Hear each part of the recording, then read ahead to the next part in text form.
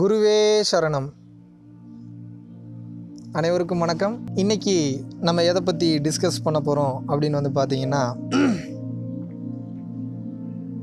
நம்மளுடைய கேரக்டர் அப்படின்றதே ஒரு நிரந்தரமான கேரக்டர் கிடையாது.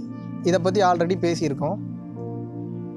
நம்மளுடைய எண்ண பதிவுகளுக்கு தகுந்த மாதிரி புதுசு புதுசாக பார்க்கக்கூடிய விஷயங்களுக்கு தகுந்த மாதிரி நம்ம கேரக்டர் சேஞ்ச் ஆகிக்கிட்டே இருக்கும். இதுதான் நிதர்சனமான உண்மை. அப்போது ஒரு கேரக்டர்ன்றது ஃபிக்ஸ்டான கேரக்டர் எந்த மனிதனுக்கும் கிடையாது. கேரக்டர் என்பதே முதல்ல ஒன்று கிடையாது. ஏன்னா நிரந்தரமற்றதில் எங்கே போய் அது நிலையானது ஒன்று நிற்க போகுது? அப்போ அதுவும் உண்மை என்பது கிடையாது. அப்படி இருக்கிறப்போ இந்த உலகத்தில் நம்ம வாழும்போது நம்மளுடைய கேரக்டர்னு நம்ம ஒன்று போர்ட்ரே பண்ணி வச்சுருக்கோம்.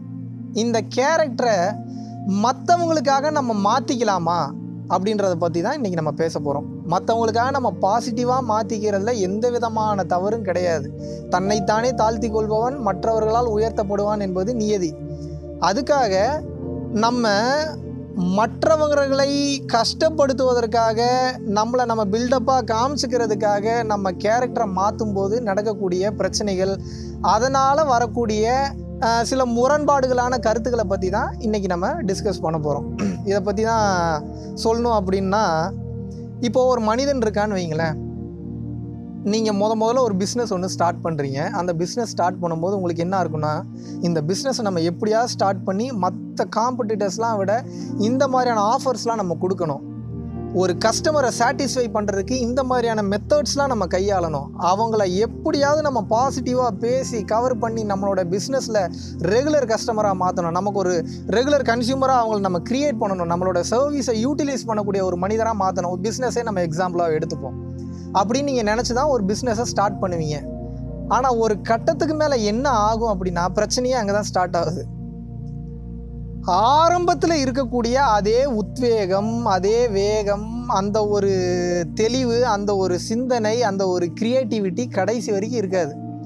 கொஞ்சம் கொஞ்சமாக கொஞ்சம் கொஞ்சமாக கொஞ்சம் கொஞ்சமாக கொஞ்சம் கொஞ்சமாக குறைஞ்சு ஒரு கட்டத்துக்கு மேலே என்ன ஆகும் அப்படின்னா நம்ம எதுக்காக இந்த பிஸ்னஸ் ஆரம்பித்தோன்ற விஷயத்தையே மறந்து இந்த உலகம் உங்களை வழிநடத்துவதற்கு தகுந்த மாதிரி மாறி நீங்கள் என்ன ஆகிடுவீங்க அப்படின்னா நீங்கள் உங்களுக்குன்னு வச்சுருக்கக்கூடிய எத்திக்ஸ் உங்களுக்குன்னு வச்சுருக்கக்கூடிய யூனிக்னஸ் உங்களுக்குன்னு வச்சுருக்கக்கூடிய ஸ்பெஷாலிட்டி உங்களுக்குன்னு இருக்கக்கூடிய தனித்துவம் எல்லாத்தையும் இழந்து எல்லாத்தையும் மாற்றி இந்த உலகத்துக்கு தகுந்த மாதிரி மாறி பூராத்தையும் கொலாப்ஸ் பண்ணி வச்சுருவீங்க. அப்போ என்னென்னா ஜஸ்ட்டு வருமானம் வந்துட்டு இருக்குமே தவிர ஒரு சில நேரத்தில் வருமானம் கூட வராது. பெரும்பாலான நேரங்களில். ஒரு கட்டத்துக்கு மேலே என்ன ஆகும் அப்படின்னு வந்து கேட்டிங்கன்னா நம்ம எதுக்காக இந்த தொழில் ஆரம்பித்தோன்றதே மறந்து அதில் ஒரு நிம்மதி இல்லாத ஒரு நிலைக்கு வந்து நீங்கள் போயிடுவீங்க. இதுதான் பெரும்பாலான மனிதர்களோட வாழ்க்கையில் நடக்கக்கூடிய விஷயம். அப்போ என்னன்னா இது ஒவ்வொருத்தரோட கடமை ஒவ்வொருத்தரும் ரொம்ப கான்ஷியஸாக நோட் பண்ணக்கூடிய ஒரு விஷயம். நம்ம எந்த மென்டாலிட்டியில் ஒரு விஷயத்தை ஸ்டார்ட் பண்ணுறோமோ எந்த உத்வேகத்தில் ஒரு விஷயத்தை ஸ்டார்ட் பண்ணுறோமோ அப்போ அது ஹண்ட்ரட் பர்சன்டில் தௌசண்ட் பர்சன்ட் கரெக்டாக இருக்கும். ஆனால் இந்த சமூகத்தில் இருக்கக்கூடிய பிரச்சனைகளை நீங்கள் ஃபேஸ் பண்ணும்போது சமூகத்தில் இருக்கக்கூடிய அந்த காம்ப்ளிகேஷன்ஸை நீங்கள் ஃபேஸ் பண்ணும்போது என்ன ஆகும் அப்படின்னு வந்து கேட்டிங்கன்னா அதை அப்படியே கண்டினியூ பண்ணி உங்களால் கொண்டு போக முடியாது. எந்த ஒரு பிஸ்னஸ்லையுமே நம்ம நினச்ச மாதிரியுமே எதையுமே வந்து எக்ஸிக்யூட் பண்ண முடியாதுன்னு வச்சுக்கோங்க. ஆனால் அது எந்த அளவுக்கு பண்ண முடியாமல் போகணுன்னா ஒரு டென் பர்சன்ட் ஃபிஃப்டீன் பர்சன்ட் தான் மிஸ் ஆகணுமே தவிர எயிட்டி ஃபைவ் பர்சன்ட் மிஸ் ஆகி ஃபிஃப்டீன் பர்சன்ட் எக்ஸிக்யூட் பண்ணுற மாதிரி இருக்கக்கூடாது. அப்போ என்ன ஆகும் அப்படின்னா இந்த கேரக்டரே ஒரு நிரந்தரம் இல்லாத கேரக்டர் ஆனால் அதில் எப்படி இந்த உலகத்தில் நீங்கள் தோற்று போவீங்கன்னா நம்ம இந்த உலகத்தில் ஈஸியாக ஜெயிக்கிறதுக்காக நல்ல பேரை எடுக்கிறதுக்காக நம்ம ஒரு சில கேரக்டரை நம்ம வந்து போர்ட்ரே பண்ணி வச்சுருப்போம். ஒரு ஹெல்த்தியான கேரக்டர் ஒன்று டிசைன் பண்ணி வச்சுருப்பீங்க. சரிங்களா? அந்த கேரக்டர் வந்து கம்ப்ளீட்டாக வந்து ஒன்றும் இல்லாமல் போயிடும். அது மாறுறப்போ இந்த உலகத்தின் மூலிமா உங்களுக்கு கிடைக்கக்கூடிய எந்த வித பலன்களும் உங்களுக்கு கிடைக்காது. பத்தோட பதினொன்னா மாறிடுவீங்க. ஒரு எக்ஸாம்பிளுக்கு சொல்லணும்னா இப்போ ஆரம்பிக்கும் போது நான் வந்து யார் மேலேயும் கோவப்பட மாட்டேன் என் கஸ்டமர்கிட்ட அப்படின்னு வந்து ஸ்டார்ட் பண்ணியிருப்பீங்க ஆனால் கஸ்டமர் உங்ககிட்ட ஃபோனில் பேசக்கூடிய அந்த டொனாலிட்டி அவன் ஏற்றி இறக்கமாக பேசக்கூடிய அந்த வாய்ஸ் மாடுலேஷன் இதெல்லாம் பார்த்து நீங்கள் என்ன பண்ணுவீங்கன்னா படார்னு உங்களுக்கு கோவம் வந்துடும் கோவம் வரவே கூடாதுன்னு நான் சொல்ல. எந்த இடத்துல கோவப்படணும் எந்த இடத்துல கோவப்படாதுன்னு கூடாதுன்ற விஷயம் தெரிஞ்சிருக்கணும். அது உங்களுடைய கொள்கைகளை பாதிக்கக்கூடாது இதனால தான் ஒரு கட்சி நடத்தும் போது வந்து பார்த்தீங்கன்னா கொள்கைகள்னு ஒன்று வச்சுருப்பாங்க. இந்த சு இந்த இந்த உலகம் இந்த இந்த சுற்றுப்புற சூழல் எப்படி நடந்தாலும் ஒரு பிரளயமே ஒரு பூகம்பமே வந்தால் கூட கட்சிக்குன்னு ஒரு சில கொள்கைகள் இருக்குது அதெல்லாம் மாறவே மாறாது.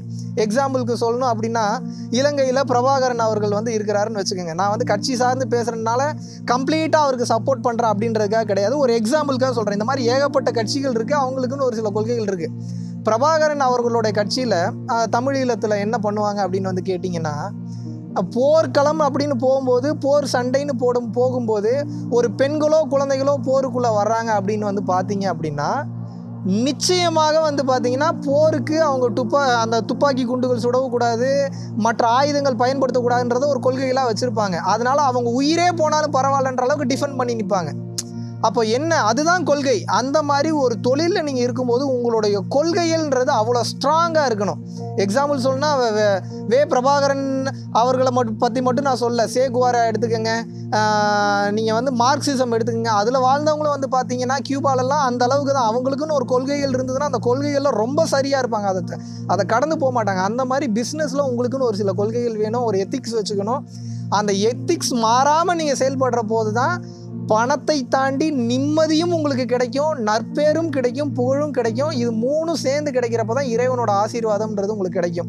இறைவனோட ஆசீர்வாதம்ன்றது இந்த பிரபஞ்சத்தோட ஆசீர்வாதம் தான் அது கிடைச்சதுனா தான் ஒரு ரூபாய் நீங்கள் சம்பாதிச்சாலும் அந்த ரூபாய் மூலிமா நல்ல துட்டுன்னு சொல்லுவாங்க. இல்லைன்னா அதுக்கு பேர் கர்ம துட்டு. கர்ம துட்டில் ஒரு ரூபா வந்தாலும் அது உங்களுக்கு பிரச்சனையை தான் கொண்டு வரும்.